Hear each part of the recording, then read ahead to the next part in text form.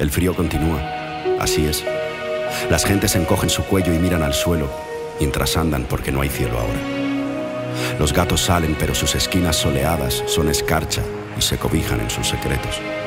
La noche abre su boca tan temprano que no nos da tiempo ni a desperezarnos, y la lluvia aparece repentina y traicionera, haciendo llorar a nuestros abrigos gastados.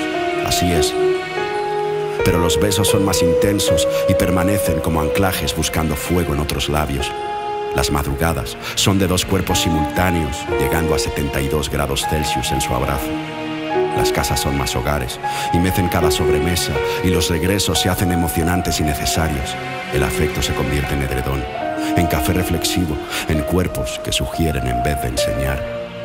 El frío continúa. Así es, pero el amor nunca hiberna.